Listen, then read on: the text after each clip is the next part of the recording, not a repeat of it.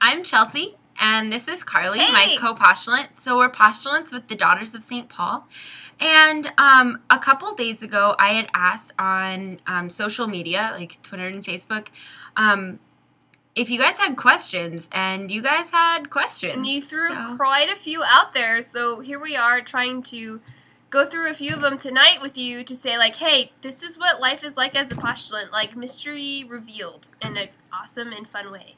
John so, asked, what's the best way to motivate young women to at least entertain the idea of becoming a nun? Ask her. Like that's definitely for sure like asking her in the right way and just letting it be. Just being like, you know, I think you would make a great sister.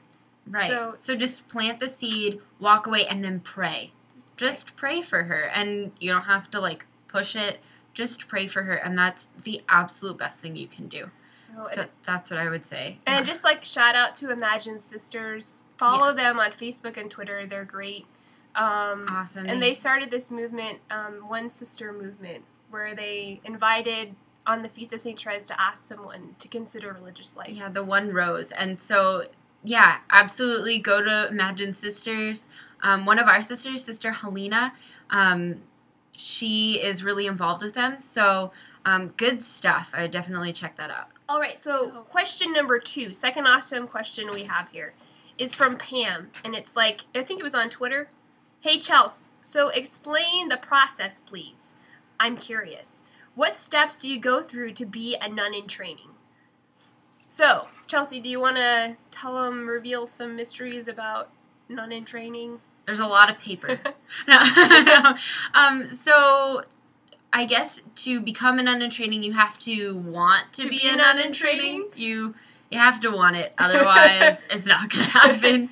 So there's a lot of prayer involved, and then um, like visiting the sisters and really like asking the Lord what He wants of you, and then um, you fill out a lot of papers. yeah. So once you, um, like you and the vocation director decide that like you should be a nun in training, a postulant, then you fill out a lot of paperwork. Um, and then more paperwork. and then and then you lot just turn it all in and trust in the lord like it's it's a two part process like the community gets to know you you get to know the community you find a lot out about yourself because you're A lot. answering questions you're filling you're writing a, a short biography of yourself um, and just praying with your story which is so good and cool anyway it was a gift alone whether or not the lord was calling me to the daughters of st paul to enter or not so I guess that's a co- cool, like, nice little snippet. Like, if you do decide to enter a religious community, you'll get to find out all the extra details of the ins and outs of the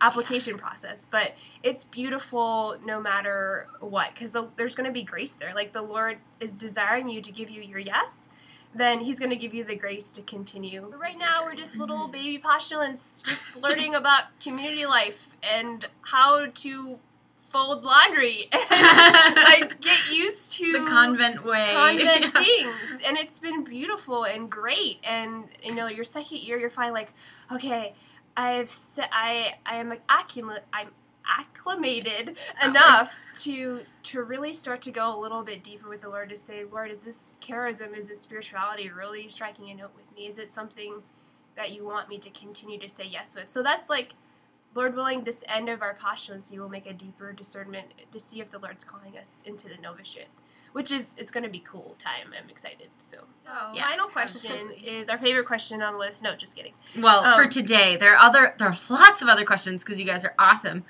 But um, Nathan asked, well, his comment. I'm just going to read it to you because it's great.